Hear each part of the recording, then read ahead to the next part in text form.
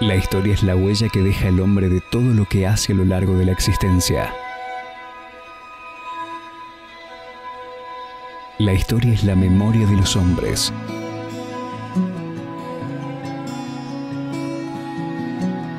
La historia se preocupa por recuperar, conservar y transmitir información.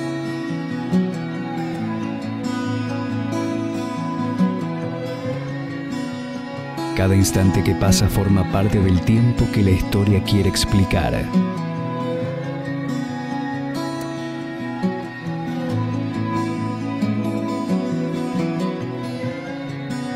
La historia es la herramienta que nos ayuda a conservar la esperanza.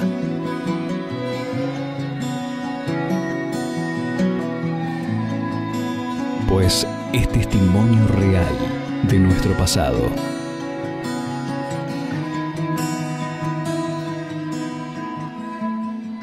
Pueblo, toda ciudad nace al margen de un río porque el agua es de vital importancia para la vida. Al lado de un mar, de un arroyo, y acá no lo teníamos. Bajo la protección de un fortín en aquella época, acá no lo teníamos. Con el refugio de una capilla, tampoco. O sea, era la tierra de nadie, la tierra de la nada.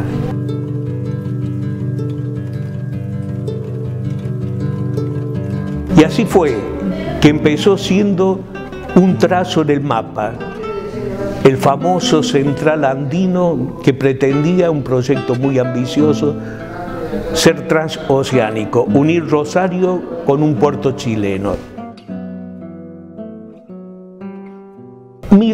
1893 ya sabemos que por un decreto del entonces gobernador don Dídimo Pizarro, que eh, acepta el proyecto del Banco Comercial Agrícola del Río de la Plata para comenzar la urbanización de lo que sería Villa la Agrícola. Así nació General Dehesa.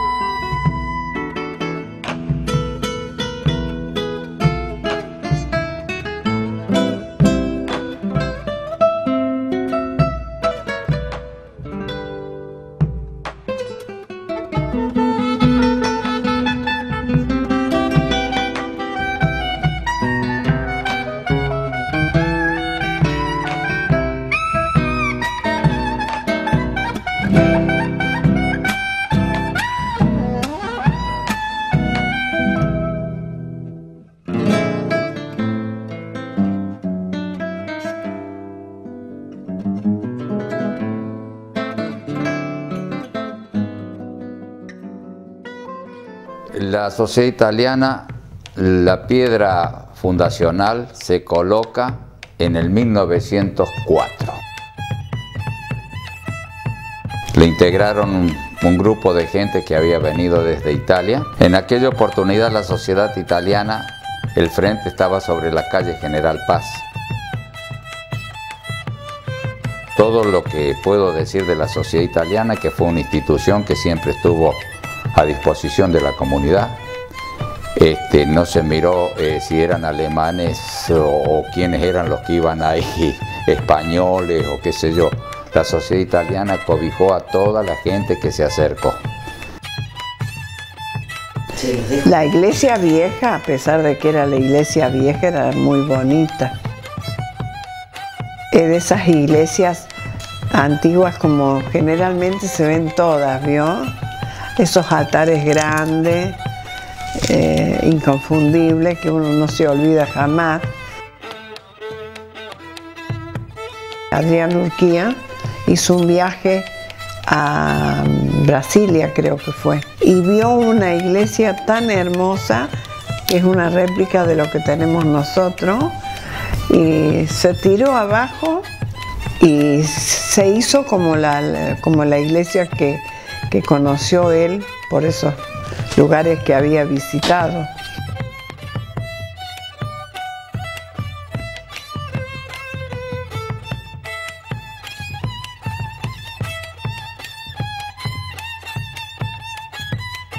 El correo, ya te digo, era el único ente oficial que había y venía correspondencia, ya te digo, el pueblo en sí era chico, 3, 4 mil habitantes.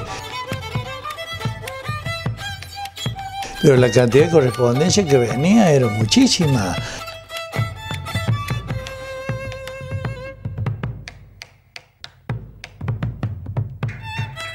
Lo mismo a nivel eh, telegrama, en aquella época se usaba mucho eh, para los casamientos, mandar telegramas, casamientos, y se, se, usaba mucho eso. Era lo único que había, porque todas las noticias de familiares fuera de, digamos, dentro del país, la única comunicación era la carta.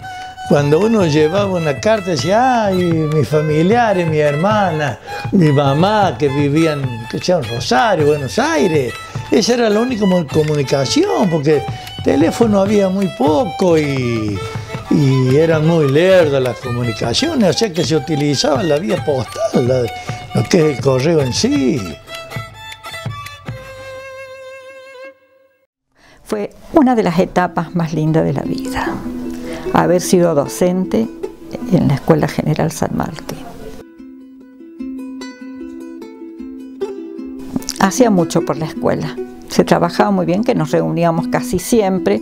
Con ese grupo de madres se formó un coro, charlas sobre salud, prevención de enfermedades, eh, clases de arte culinario. Por ejemplo, acá tengo una de las recetas que en aquel momento, cercanas al Día de la Madre, por ejemplo, un matambre arrollado, eh, un postre brillante que significaba simplemente unos duraznos al natural, con dulce de leche y nueces, un postre helado. Bueno, todas esas cosas ¿Y para qué contarte de la organización de la fiesta de la tradición? Todos, todo el personal docente, la cooperadora, el club de madres, se trabajaba para esa fiesta de la tradición que eran inolvidables. Las veladas, las veladas de fin de año, este, donde se presentaban preparado por nosotros los numeritos, donde participaban los niñitos y donde se llenaban los salones, donde las abuelas, las tías, todos iban a ver cómo bailaban un gato, una chacarera o, un cuento este, dramatizado por los niños, generalmente en el salón de la pileta. Se llenaba. Hermoso. Quedesa siempre fue una localidad que tuvo gusto por el arte. Acá siempre hubo bandas, eh, coros, movimientos de teatro también de gente que hacía mm, algunas obras, conseguían quienes los orientaban. En la década del 70 más o menos, o 60 y tanto, se formó una, una comisión municipal de cultura que presidía Glesier de Macario, eh, llamada, este, instituida esta comisión por, por la municipalidad de, de Deza. La primera actividad que tuvo fue la creación de la actual biblioteca municipal. La segunda creación fue el taller municipal de, pintura. Bueno, la historia del, fútbol en General Deza nace en 1918.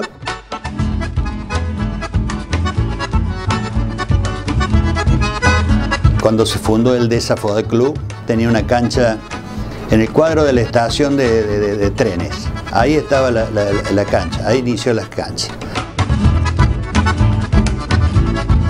Y después se trasladó a frente a la ruta 158 con una cancha inolvidable porque tenía 110 metros de largo. El primero de, abril de 1956 nace Acción Juvenil, un grupo de 30 jugadores. Bueno, después al final de 1957 se hace se unifican las dos instituciones para intervenir en un campeonato que se llama Campeonato Interligas Independiente algunos jugadores de acción juvenil, algunos del Fútbol Club, y el Fútbol Club en el año 57 deja de hacer fútbol. Así que los jugadores que estaban en el Deza Fútbol Club eh, pasan a acción juvenil, con muy buen suceso, muy, muy buenos jugadores.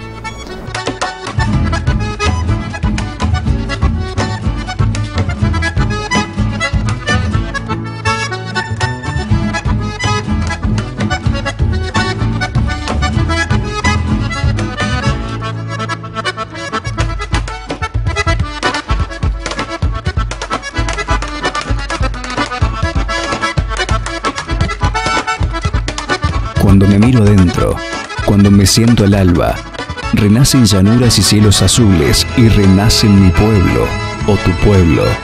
Ese lugar del que nunca partimos, porque es imposible dejar el alma de la mágica región donde vivió nuestra infancia, donde aprendimos a querer la vida.